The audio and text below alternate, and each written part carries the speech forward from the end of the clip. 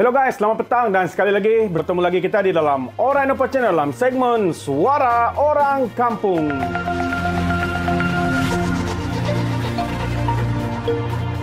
So, okay guys, untuk kali ini kita ada satu cerita panas yang mana surat daripada pejabat Presiden PKR, Datuk Seri Anwar Ibrahim tular di laman sosial selepas 24 jam memberi keterangan di Ibu Pejabat Polis Bukit Aman pada Jumaat yang lalu iaitu pada hari kemarin. Mari kita baca apakah kandungan surat-surat ini okay, yang menyatakan uh, Anwar dapat 131 sokongan ahli parlimen kini tular di media sosial. Mari kita ikuti berita selanjutnya. Kuala Lumpur, sepucuk surat daripada pejabat Presiden Parti Keadilan Rakyat, Keadilan Datuk Seri Anwar Ibrahim tular di laman sosial mendakwa mempunyai sokongan dan majoriti kukuh daripada 131 ahli Dewan Rakyat untuk dilantik sebagai Perdana Menteri yang ke-9.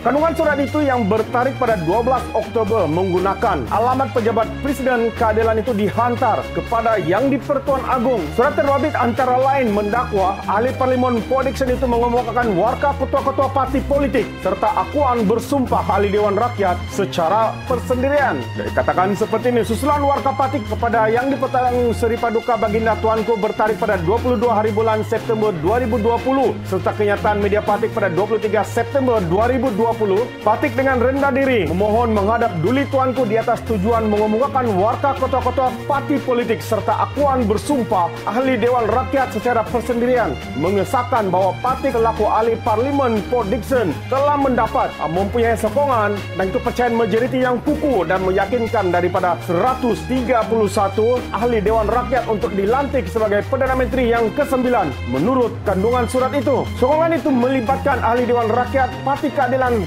Rakyat, AMNO, Parti Amanah Negara, Parti Tindakan Demokratik dan ahli Dewan Rakyat dan lain secara pribadi. Maka dengan ini, yang amat berhormat Tan Sri Datuk Muhyiddin bin Haji Muhammad Yassin ahli Parlimen Pagoh telah dengan jelas kehilangan sokongan dan kepercayaan majoriti ahli Dewan Rakyat selaras dengan perkara 43 dalam kurungan 4 Perlembagaan Persekutuan dan Patik telah mendapat dan mempunyai sokongan dan kepercayaan majoriti ahli Dewan Rakyat untuk dilantik sebagai Perdana Menteri Malaysia yang ke-9 selaras dengan perkara 43 dalam kurungan 2 dalam kurungan E Perlembagaan Persekutuan menurut kandungan surat itu lagi. Surat itu tertulis bahawa Anwar yakin ahli Dewan Rakyat Gabungan Parti Sarawak GPS, Parti Warisan Sabah Warisan dan Pertubuhan Kinabalu Progresif bersama satu atau UKO akan menyusul segera bagi memberi sokongan dan kepercayaan kepada beliau sekaligus menjadikan jumlah kesokongan seramai 158 ahli Dewan Rakyat. Selaras dengan perkara 43 dalam kurungan 2E, Perlembagaan Persekutuan Anwar memohon agar diberi peluang dan dilantik sebagai Perdana Menteri yang ke-9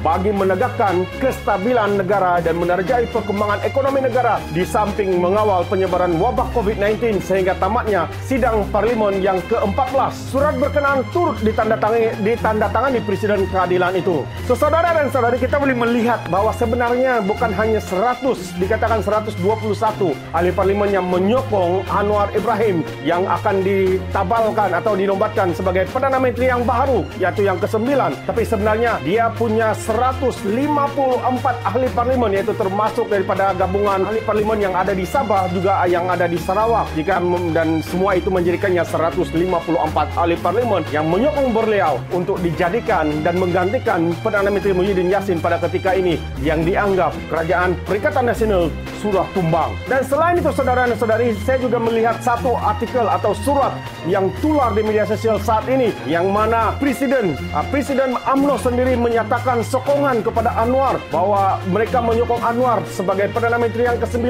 ditandatangani di dalam surat itu yang juga telah disahkan oleh bekas Perdana Menteri sebelum ini yaitu Tan Sri Najib. Saudara dan saudari, sekali lagi kita dikejutkan dengan terdedahnya surat menyurat yang ada di media sosial sekarang ini. So sila berikan komen anda yang telah tular di media sosial pada ketika ini. So, sekiranya ini benar, mungkin Muhyiddin akan tumbang dan kerajaan perikatan juga akan tumbang, akan digantikan oleh kerajaan gabungan daripada pelbagai parti atau individu yang menyokong Anwar Ibrahim sebagai Perdana Menteri yang ke-9.